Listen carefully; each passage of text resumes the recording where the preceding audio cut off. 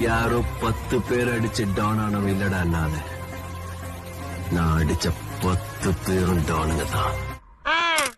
அப்ப நாங்க நாப்பல யாரு? பாளையங்கோட்டை ஜெயில தான் படிச்சத. வேலூர் ஜெயில வெள்ளை அடிச்சு வாடகைக்கு விட்டு திரியறான் பல ஆண்டுகளா மதுரை ஜெயில மைதானம் அமைச்சு மல்யுத்தம் நடத்தின பரம்பரை நாங்க. அது போக தமிழ்நாட்டுல இருக்க சப்ஜெக்ட்ல பூரா என் சப்ஜெக்ட்